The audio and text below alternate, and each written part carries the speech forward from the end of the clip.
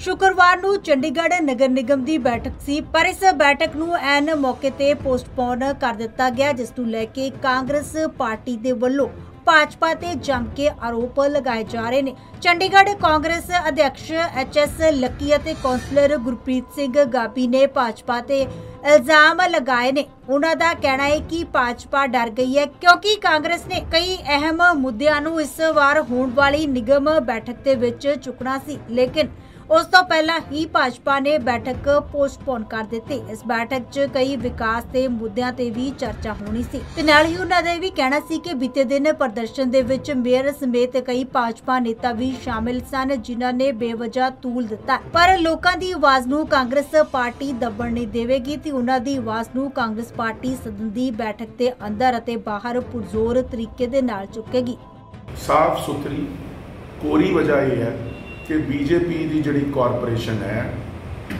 ਉਹ ਡਰ ਗਈ ਹੈ। ਉਹ ਡਰ ਗਈ ਕਿਉਂਕਿ ਕਾਂਗਰਸ ਨੇ ਲੋਕਾਂ ਦੇ ਮੁੱਦਿਆਂ ਨੂੰ ਚੱਕਣਾ ਸੀ। ਕਾਂਗਰਸ ਨੇ ਲਾਇੰਸ ਕੰਪਨੀ ਦੇ ਮੁੱਦੇ ਨੂੰ ਚੱਕਣਾ ਸੀ। ਜਿਹੜੇ ਇੱਕ ਗਰੀਬ ਕਰਮਚਾਰੀ ਨੇ ਫਾਹਾ ਲਾ ਕੇ ਆਤਮ ਹੱਤਿਆ ਕਰ ਲਈ ਉਸ ਮੁੱਦੇ ਨੂੰ ਚੱਕਣਾ ਸੀ।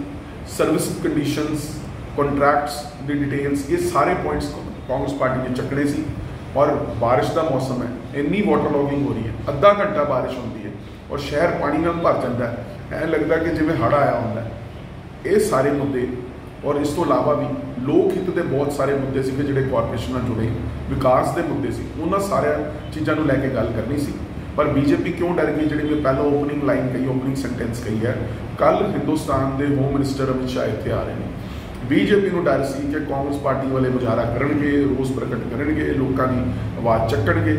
ਉਹ ਅਗਲੇ ਦਿਨ ਅਖਬਾਰਾਂ 'ਚ ਛਪੇਗਾ। ਜਦ ਉਹਨਾਂ ਦਾ ਹੋਮ ਮਿਨਿਸਟਰ ਇੱਥੇ ਆਣਗੇ, ਉਹ ਦੇਖਣਗੇ ਵੀ ਬੀਜੇਪੀ ਦੀ ਕਿਹੋ ਜਿਹੀ ਗੱਤ ਹੋ ਰਹੀ ਹੈ। ਤਾਂ ਉਹਨਾਂ ਨੂੰ ਵੀ ਬੁਰਾ ਲੱਗੇਗਾ, ਉਹਨਾਂ ਨੂੰ ਬੁਰਾ ਮਹਿਸੂਸ ਹੋਏਗਾ ਔਰ ਇਹਨਾਂ ਦੀ ਕੀ ਇਮੇਜ ਉਹਨਾਂ ਦੀ ਨਜ਼ਰਾਂ ਦੇ ਵਿੱਚ ਆਏਗੀ।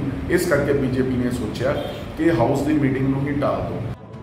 ਉਤੇ ਹੀ ਕਾਂਗਰਸ ਕੌਂਸਲਰ ਗੁਰਪ੍ਰੀਤ ਸਿੰਘ ਗਾਪੀ ਨੇ ਵੀ ਭਾਜਪਾ ਦੇ ਉੱਪਰ ਆਰੋਪ ਲਗਾਉਂਦਿਆਂ ਕਿਹਾ ਹੈ ਕਿ ਇਸ ਬੈਠਕ ਦੇ ਵਿੱਚ ਉਹਨਾਂ ਦੇ ਵੱਲੋਂ ਲਾਇਨਸ ਕੰਪਨੀ ਦਾ ਮੁੱਦਾ ਜ਼ੋਰਾ ਸ਼ੋਰਾ ਦੇ ਨਾਲ ਚੱਕਿਆ ਜਾਣਾ ਸੀ। ਹਾਲ ਹੀ ਦੇ ਵਿੱਚ ਇੱਕ ਸਫ਼ਾਈ ਕਰਮਚਾਰੀ ਨੇ ਕੰਪਨੀ ਤੋਂ ਤੰਗ ਆ ਕੇ ਖੁਦਕੁਸ਼ੀ ਕੀਤੀ ਸੀ। ਇਸ ਦਾ ਜ਼ਿੰਮੇਦਾਰ ਕੌਣ ਹੈ ਤੇ ਇਸ ਨੂੰ ਲੈ ਕੇ ਕਈ ਸਵਾਲ ਚੁੱਕੇ ਜਾਣੇ ਸੀ।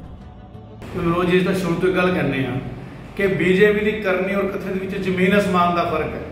ਤੁਸੀਂ ਹਾਊਸ ਦੀ ਮੀਟਿੰਗ ਮੌਜੂਦ ਹੁੰਦੇ ਹੋ, ਉੱਥੇ ਅਗਰ ਜਦ ਅਸੀਂ ਕੋਈ ਸਵਾਲ ਪੁੱਛਣ ਲੱਗਦੇ ਆ ਤਾਂ ਕੀ ਗੱਲ ਕਰਦੇ ਆ ਨਾ ਜੀ, ਨਾ ਤੁਸੀਂ ਵਿਕਾਸ ਦੇ ਕੰਮਾਂ ਨੂੰ ਰੋਕ ਰਹੇ ਹੋ। ਹਾਊਸ ਦੀ ਮੀਟਿੰਗ ਰੋਕ ਕੇ ਤੁਸੀਂ ਵਿਕਾਸ ਦੇ ਕੰਮਾਂ ਨੂੰ ਰੋਕ ਰਹੇ ਹੋ। ਸਵਾਲ ਚੱਕਣ ਤੋਂ ਮਨਾ ਕਰਦੇ ਆ ਵਿਕਾਸ ਦੇ ਕੰਮਾਂ ਦਾ ਦੇ ਗਏ ਡਰਾਵਾ, ਠੀਕ ਹੈ ਜੀ, ਤਾਂ ਕਿ ਪਬਲਿਕ ਦੀ ਗੱਲਾਂ ਸ਼ਾਇਦ ਸੋਚ ਕੇ ਅਸੀਂ ਰੁਕ ਜਾਈਏ।